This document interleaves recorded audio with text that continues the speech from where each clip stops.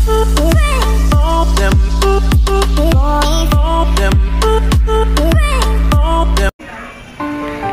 guys, yung ating buwan medyo nahati. So, ito guys yung tinatawag na solar eclipse. Pero ngayon lang tayo kumuha ng video dahil ngayon lang natin nakita yung buwan. So yun guys medyo malaki na yung liwanag. Hindi katulad kanina guys na konti lang yung nakikita na liwanag. Dahil na, na, ano ito ng pula. Pero ngayon medyo may liwanag na dito sa ating buwan. So yun guys nangangalati na yung liwanag? Nakikita nyo guys nangangalati na yung liwanag na ating buwan hindi katulad kanina guys na lang yung liwanag na nanggagaling sa buwan. Dahil ito ay nababalutan ng pula kanina.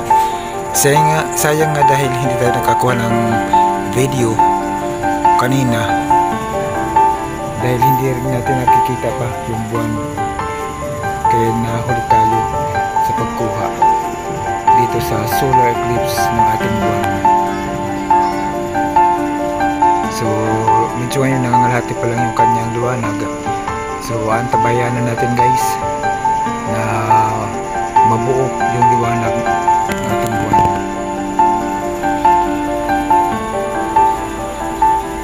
So yun guys, medyo lampas kalahati na yung liwanag. So kukunti na lang yung nababalot sa ano, nababalutan ng pula ito sa ating buwan.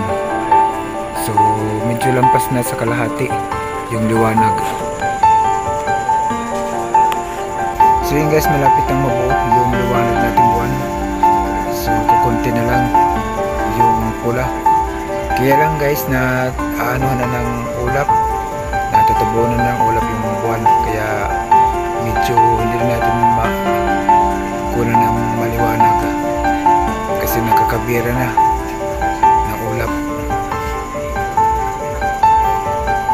nakikita pa naman natin guys na lampas na sa kalahati at malapit ng mabuo yung liwanag ng ating buwan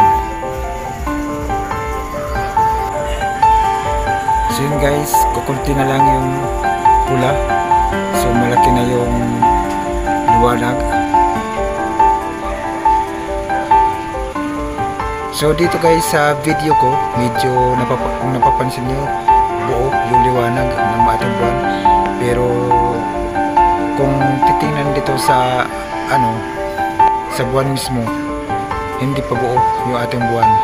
So medyo may kunti pa na pula.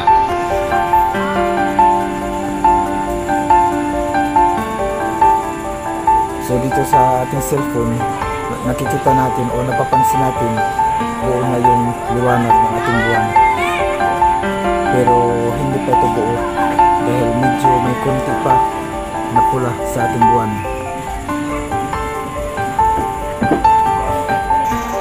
So kanina guys nang nagsimula tayo mag-video, so kukunti pa lang yung liwanag.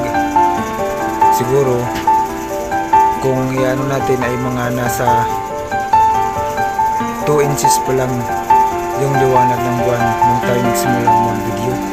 Pero ngayon, nasa 3-4 na yung liwanag ng ating buwan. So, konti na lang yung pula at mabubuo na yung ating buwan. Right? Yes, konti na lang. Mabubuo na guys yung ating buwan. Kunting-kunti na lang yung pula.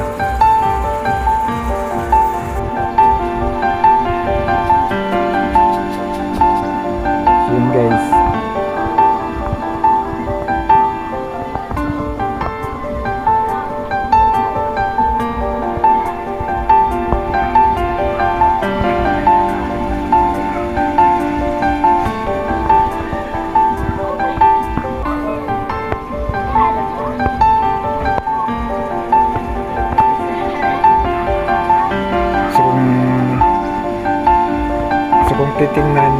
dito sa ating video.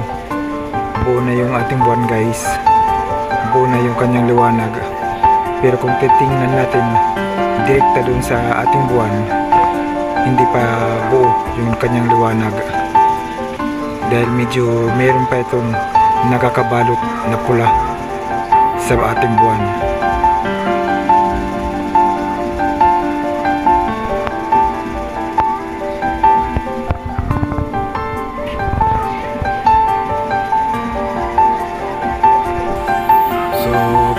Tayo sa pagkuha ng video hanggang sa mabuo na yung liwanag dito sa ating buwan.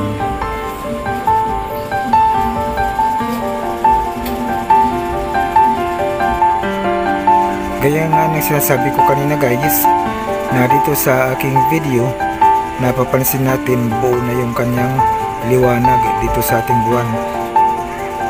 Kung titingnan natin direkta sa buwan, may kunti pa itong pula na nakakabalot dito sa ating buwan. So, kung kukumpara natin, kasi laki pa ng aking kamay yung liwan ay yung pula na nakakabalot dito sa ating buwan.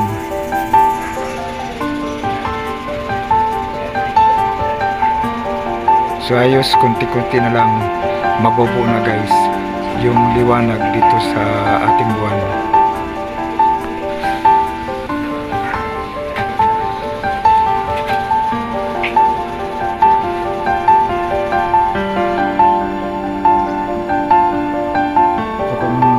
Napapansin natin guys, medyo napapaligiran ng rainbow yung ating buwan. So yan, isusum natin guys. Ayan, tingnan nyo guys. Napapaligiran ng rainbow yung ating buwan.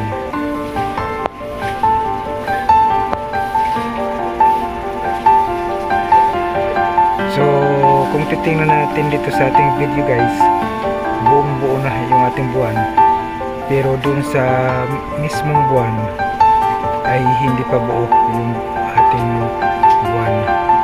May kunting-kunti pa na pula o hindi na nga siya pula.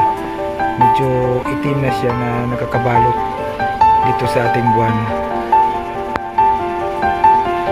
Hindi katulad kanina guys na pulang-pula yung ating buwan. Pero ngayon, dahil kunti na lang yung nakakabalot sa ating buwan. So guys, malapit na mabuo yung buwan. So kunting-kunti na lang yung nakakabalot. Mabubuo na yung ating buwan guys.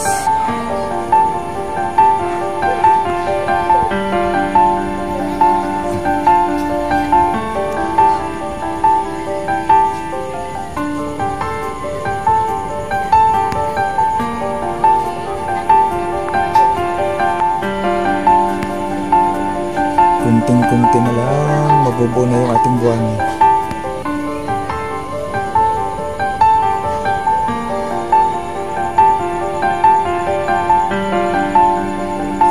So guys, buo na yung ating buwan. So wala na yung nakakatakip na itim. So sa wakas, nakabalik na sa normal yung ating buwan. Alright. Hanggang dito na muna guys yung ating video. So kita-kits na lang tayo sa susunod kong i-upload na video guys. Bye!